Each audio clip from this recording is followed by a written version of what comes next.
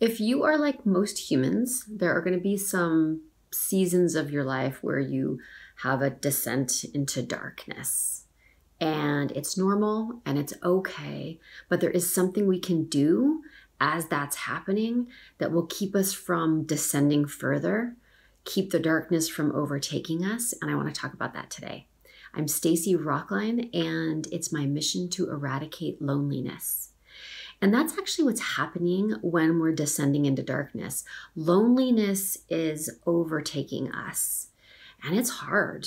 I mean, I remember being at this point in my life when I was a stay-at-home mom, I had little kids, and so that's just that's just a lonely time anyway if you don't have a mommy group or something because there are no adults around and kids are cool but they are not adults and you can't talk to them about adult things. So you're having conversations with children. Um, it's if you can go out in the sunshine and go to the park, it's easier. If you've got a play group, it's easier.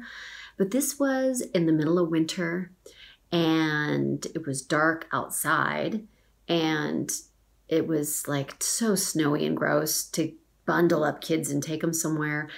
So I started to descend into some darkness. Started out just feeling a little blue, but it was beginning to overtake me and wasn't really good at reaching out, which I'll talk about in a minute.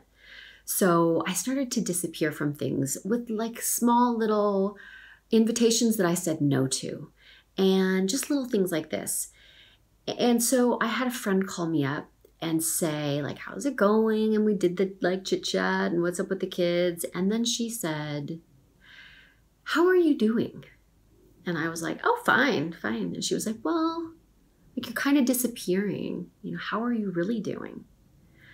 And in that moment i was like i can't keep pushing the fine like you know narrative because i'm not fine and she knows me. And so i said i'm not fine. And I don't know why. I have no reason. I like I have no problem to solve. Nothing happened. And I think this is one of the problems that happens when we descend into darkness is that we don't ask for help or step out because it feels like we have to have a reason, right? We have to be like, oh, this thing is wrong that I need help with. But you, you don't always know. So you have like a it's a perfect storm of you start to feel blue, you have no reason why. Then because you have no reason why, you don't step out. And then as you further descend, you become lethargic, unable to go out and see people, unable to make yourself do things. And so you start to feel lonelier and lonelier and lonelier. Once I shared that, I felt a million times better because I just needed to start connecting again. Like, I didn't need to talk about what was going on. I didn't really have anything to talk about, but I needed to connect. Connection is the antidote to that descent into darkness. That is what you need.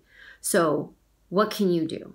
What can you do? Now, I was really lucky that I had somebody I was really connected to that called me up and called me out, wanted to know what's going on with me. But the reason I had that is because of the relationships that that we created before the dark moment. It's in all the rest of the time. It's all the times that I sat with her just while she talked and she had her moment of darkness and she felt connected that we established intimacy in our relationship and an energetic connection that she could tell something was wrong. It's all those times that we laughed together at the park. It's all of those other connections that we made. So if you don't if you're not descending into darkness right now, make sure you keep doing those connections cuz they are putting in the groundwork for those moments if you, like me, sometimes get a little blue. That mattered. I also told the truth.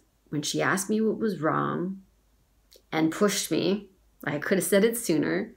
I finally did say the truth. I didn't try to spin a narrative that everything was okay or try to convince her that everything was okay because it wasn't.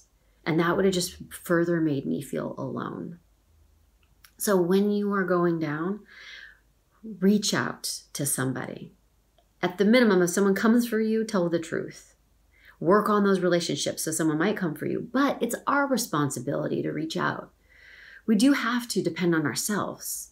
And even though you feel lethargic and you feel like you don't want to, and how am I going to reach out to someone I don't even know what's wrong?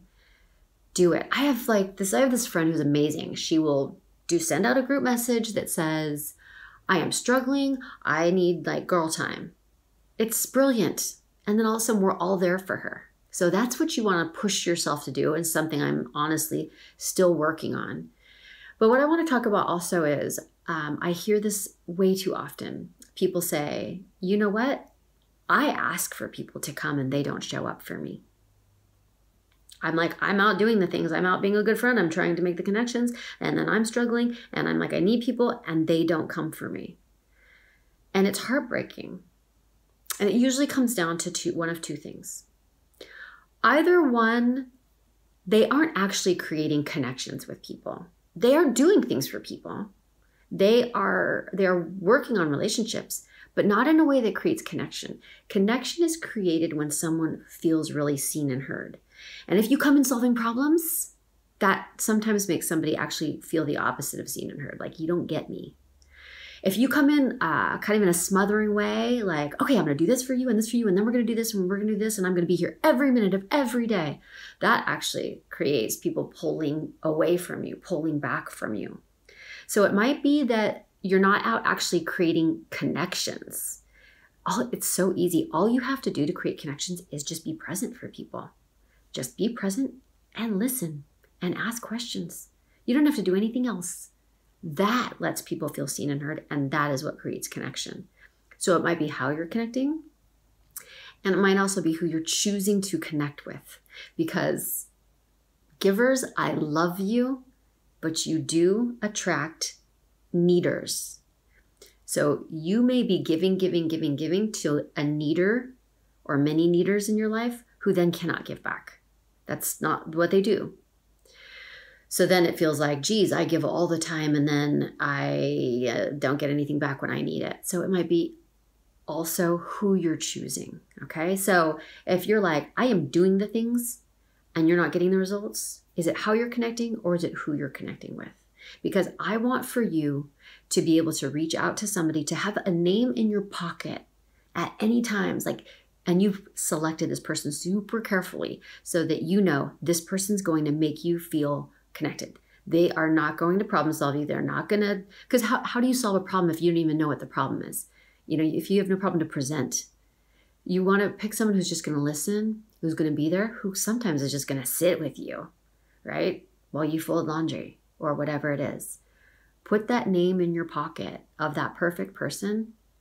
And when you start to make that descent, make that call, send that text message. It will keep you from going down further to start connecting with people again. And it's still it's okay, you're normal. It's just no big deal. You will have blue moments. We all have blue moments. So then reach out. And if you're lucky and someone comes for you, tell the truth. And if you are looking at a disconnected life, make the adjustments you need. And if you're like, I am at a loss. I have no idea, Stacy. I'm looking around my life. There's nobody. There's nobody coming for me. There's nobody to connect with. You deserve to feel supported and seen and loved. You deserve that. Everybody deserves that. So I want you to widen your scope.